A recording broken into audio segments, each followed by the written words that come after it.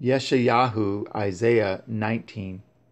The burden of Mitzrayim, behold, Yahuwah rides upon a swift cloud, and shall come into Mitzrayim, and the idols of Mitzrayim shall be moved at his presence, and the heart of Mitzrayim shall melt in the midst of it.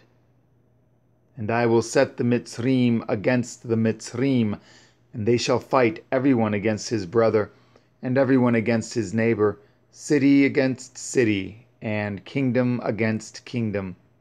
And the Ruach of Mitzrayim shall fail in the midst thereof. And I will destroy the counsel thereof, and they shall seek to the idols, and to the charmers, and to them that have familiar spirits, and to the wizards. And at the Mitzrayim will I give over into the hand of a cruel lord, and a fierce king shall rule over them, says Adonai Yahweh Sevaoth. And the waters shall fail from the sea, and the river shall be wasted and dried up. And they shall turn the rivers far away, and the brooks of defense shall be emptied and dried up the reeds and flags shall wither. The paper reeds by the brooks, by the mouth of the brooks, and everything sown by the brooks shall wither, be driven away, and be no more. The fishers also shall mourn, and all they that cast angle into the brooks shall lament. And they that spread nets upon the waters shall languish. Moreover, they that work in fine flax, and they that weave networks, shall be confounded. And they shall be broken in the purposes thereof, all that make sluices and ponds for fish. Surely the princes of Sa'an are fools. The counsel of the wise counselors of Pharaoh is become brutish. How say ye unto Pharaoh, I am the son of the wise? The son of ancient kings. Where are they? Where are your wise men? And let them tell you now, and let them know that Yahuwah Savaoth has purposed upon Mitzrayim. The princes of Soan are become fools. The princes of Noph are deceived. They have also seduced Eth Mitzrayim even they that are the stay of the tribes thereof. Yahuwah has mingled a perverse ruach in the midst thereof, and they have caused Eth Mitzrayim to err in every work thereof, as a drunken man staggers in his vomit.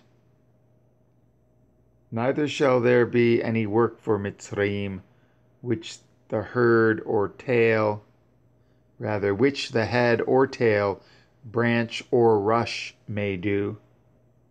In that day shall Mitzrayim be like unto women, and it shall be afraid and fear because of the shaking of the hand of Yahuwah Sevaoth, which he shakes over it. And the land of Yahudah shall be a terror unto Mitzrayim, Every one that makes mention thereof shall be afraid in himself, because of the counsel of Yahuwah Sevaoth, which he has determined against it. In that day shall five cities in the land of Mitzrayim speak the language of Canaan and swear to Yahuwah Sevaoth. One shall be called the city of destruction in that day shall there be an altar to Yahweh in the midst of the land of Mitzrayim, and a pillar at the border thereof to Yahweh. And it shall be for a sign and for a witness unto Yahweh Sevaoth in the land of Mitzrayim. For they shall cry unto El Yahweh because of the oppressors, and he shall send them a Saviour and a great one and he shall deliver them. And Yahweh shall be known to Mitzrayim, and the Mitzrayim shall know eth Yahuwah in that day, and shall do sacrifice and oblation. Yea, they shall vow a vow unto Yahuwah and perform it. And Yahuwah shall smite eth Mitzrayim, he shall smite and heal it. And they shall return even to Yahuwah, and he shall be entreated of them, and shall heal them.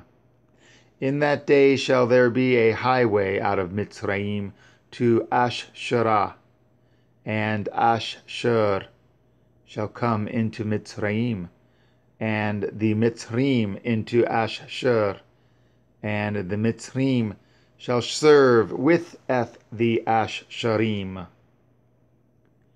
In that day shall Yashar'el be the third with Mitzrayim and with Ashshur, even a blessing in the midst of the land. Whom Yahweh Sevaoth shall bless, saying, Blessed be Mitzrayim, my people, and Ashshur, the work of my hands, and Yashar'el, my inheritance.